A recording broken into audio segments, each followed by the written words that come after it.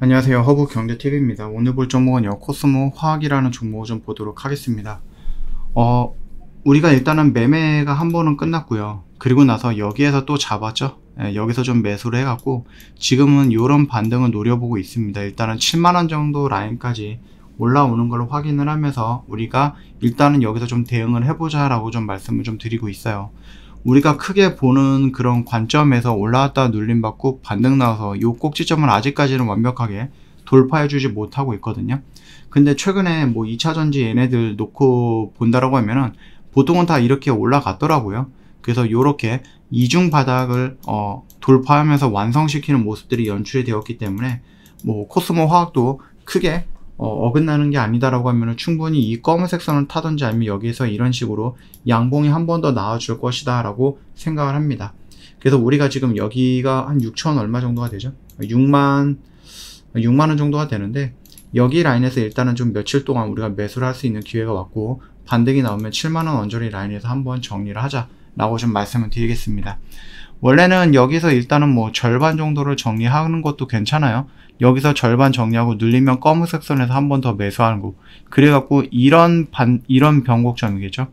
이런 변곡점을 가지고 이렇게 돌파해서 이 검은색 선까지 끌고 가는 것도 하나의 방법이기는 한데요.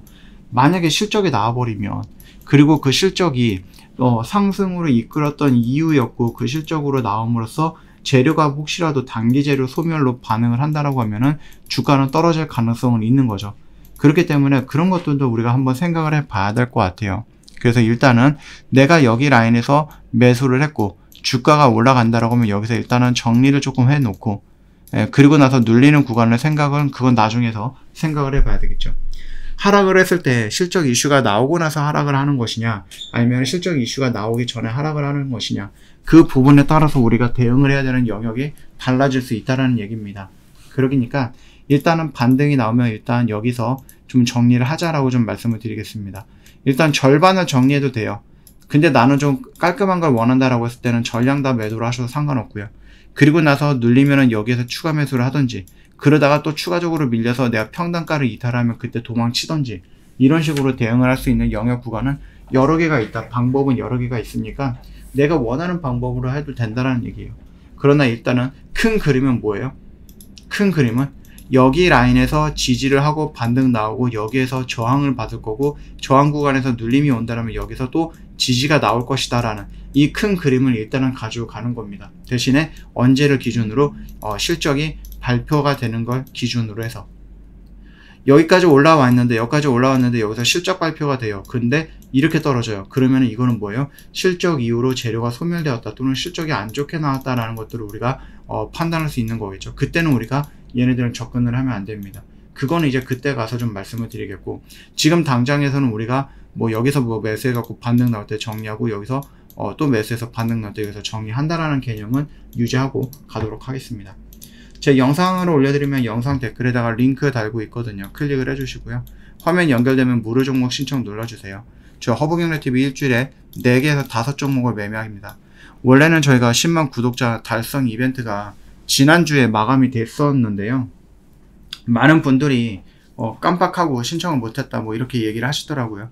그래서 요청을 하셨는데 제가 지난주에도 말씀을 드렸죠.